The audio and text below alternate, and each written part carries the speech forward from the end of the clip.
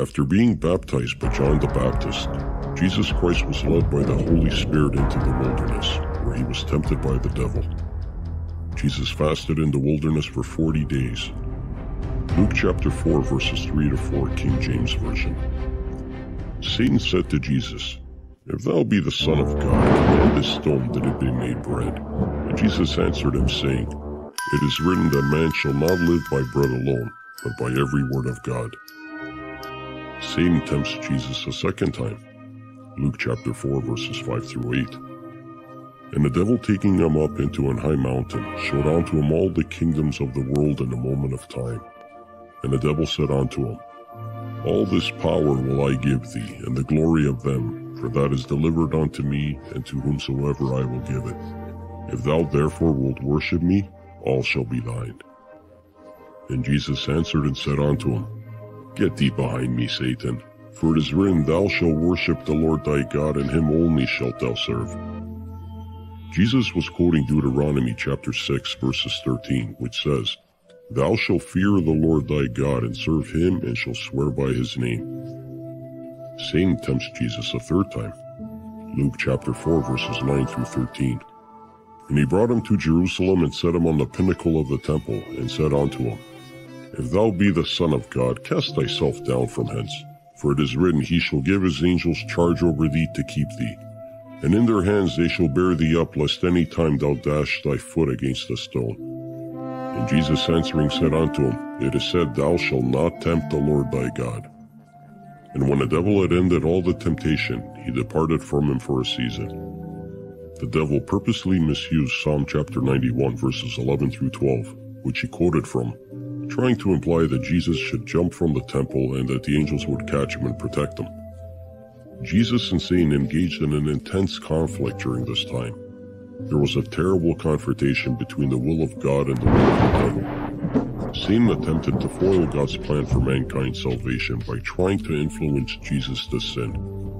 Satan knew that a sinful Messiah could not be a sufficient offering to atone for the sins of humanity. However, Jesus could not sin and could see through Satan's tactics. Jesus is tempted by Satan in three different areas that correspond to temptations that we all face today. These areas are the lust of the flesh, hunger of any kind, the lust of the eyes, also known as covetousness, and the pride of life, also known as a lust for power. The first temptation that Satan presents to Jesus is an attempt to get him to question God's divine care. Jesus would be acting independently of his Father and using his own power to satisfy his hunger by turning stones into bread. The response of the Lord demonstrates that the nourishment of the Spirit is more valuable than the nourishment of the flesh. The second temptation is an attack of Jesus' faith in an attempt to get him to test his Heavenly Father's promise of protection from physical harm. But Jesus refuses to test God's protection and faithfulness. Jesus has complete faith in his Father and has no need to test him. The third test that Satan puts Jesus through presents him with the opportunity to seize the kingdom and escape being crucified. The response of the Lord is one of faithfulness and no compromise. He wouldn't worship any false gods. He would remain loyal to God only. Sin is almost always portrayed as something acceptable and even desirable by Satan. But the remedy is found in the truth of the Word of God. Because Jesus experienced life as we do fully human, he is able to understand our difficulties and provide the specific assistance we require to fight off temptation. Temptation is the same for us now as it was for Adam and Eve in the Garden of Eden. There has been no change. Being tempted is not in and of itself a sin. Everyone can fall prey to temptation. A widespread misconception among Christians is that if they are tempted, they must be falling victim to sin. However, being tempted is not in and of itself a sin. You will face trials and tribulations, and Satan will tempt you, but God cannot and will not ever tempt you. God, however, will test you at periods in your life. You can only give in to the devil's temptations to the extent that God allows it in his will. There is a limit to how far he can go, the Bible teaches that God will always provide a way out of any situation. The adversary, the devil, and our Lord and Savior Jesus Christ engaged in a battle of wills in the wilderness. The devil was strong. Jesus was worn out and weak from hunger. He had gone 40 days and 40 nights without eating anything. How could he compete with the devil, who had already won the battle against Adam and Eve in the Garden of Eden? Both Adam and Eve were able to eat whatever food they desired except for one fruit from one tree. They had a lot of strength, they were created in the image of God. Nevertheless, they gave in to the temptation and committed acts of disobedience against God, and they sinned. Both you and I have given in to temptations in the same way. We are born into this world as sinners. The Bible says in Psalm chapter 51 verse 5, Behold, I was shapen in iniquity, and in sin did my mother conceive me. Because of our own free will and choices, we are also sinners. There comes a point in time in each of our lives when we knowingly decide to steal, lie, or covet something. Each one of us is answerable to God for our own actions. Therefore, we become sinners through our everyday practices. The more we engage in it, the simpler it is for us to engage in temptations such as lust, greed, hatred, lying, stealing, including pride, jealousy, and anger. All of us face these challenges, and as a result, we give in to Satan's temptations. Men and women's deepest need is spiritual. We require forgiveness, we require justification, and we require reconciliation with God in order to move forward. That is why the Lord Jesus Christ appeared on earth. Concern for others is expected of us, Jesus commanded his disciples, Thou shalt love thy neighbor as thyself. Jesus cares deeply about the struggles that people face every day, but the deeper need of mankind can only be satisfied by nothing other than his death and resurrection. It would have been very easy for Jesus to avoid dying on the cross, but if he had done that, neither you nor I would have any hope and would be lost. Due to the fact that the cross is the only means by which our relationship with God can be restored, we would be cut off from Him. Jesus declared that man would not survive merely by eating bread alone. How can people devote all of their time to establishing things for this world while neglecting to make preparations for the world to come? There is eternity waiting for us after this life. This life is a preparation for eternity. Come to the Lord and Savior Jesus Christ. The devil is cunning. In appearance, he is similar to an angel of light. He leads people astray by attempting to convince us to believe a lie by falsely quoting the scriptures, misapplying them, or removing a verse from its context. Scripture is to be compared with scripture, and the word of truth is to be correctly divided as a result. The Holy Spirit is supposed to guide us as we study what the scriptures have to say. Jesus was tempted by Satan in the same ways that he tempts us.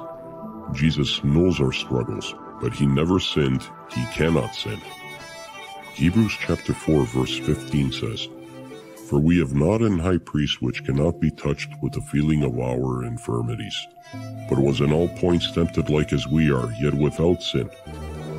Satan tempts all of us in different ways. He knows what our weaknesses are. The devil tempts us by saying, that job is yours, that additional money is yours. If you will just compromise your faith, compromise your principles, and compromise the Word of God. My friend, Satan paid a low price for several of us. It didn't take much for him to get our attention. All he needed to do was promise us a better circumstance in life, or a better job, or a bit more money, or a little more fame. God knows our weaknesses better than Satan does, and he will never allow us to be tempted beyond what we can handle. Are you victorious in the fight that you have every day against the devil? Are you making progress or are you falling further and further behind in your fight against temptation? The Holy Bible says in 1 Corinthians chapter 10 verse 13, there hath no temptation taken you, but such as is common to man. But God is faithful, who will not suffer you to be tempted above that ye are able, but will with the temptation also make a way to escape, that ye may be able to bear it. My friends, if you are not saved, or you are unsure if you are saved, I am pleading with you. to give your life over to the Lord Jesus Christ. I invite you to say this prayer with me from your heart, believing. Heavenly Father, I come to you in the name of Jesus. Your word says that whosoever shall call on the name of the Lord shall be saved. I'm calling on you, Jesus. I'm calling on you to come into my heart, be the Lord over my life. I need you, Jesus. I have broken your laws, God, and have sinned against you. I am sorry for my many sins, Lord. Please forgive me. I believe your promise that if thou shalt confess with thy mouth the Lord Jesus, and shalt believe in thine heart that God had raised him from the dead, thou shalt be saved. I believe you, God. I confess to you and everyone that Jesus is my Lord and my Savior. And I believe in my heart that you, God, raised him from the dead. Please help me to resist the temptation to sin and help me to live a life that is pleasing to you.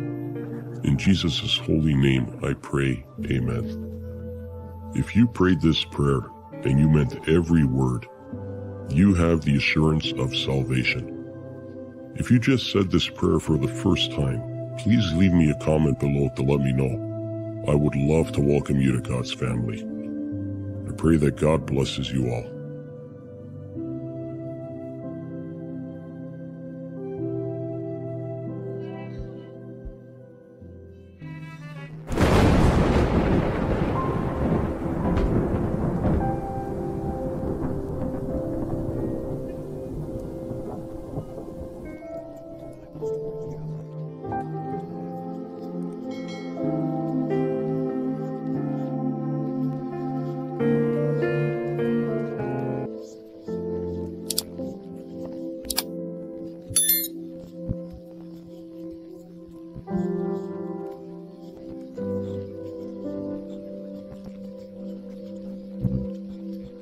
If you enjoyed this video, give it a thumbs up and share with your friends so we can keep making them. For more videos like this, hit the subscribe button and remember to click on the notification bell. Also, be sure to check out our other videos as well. Thanks for watching.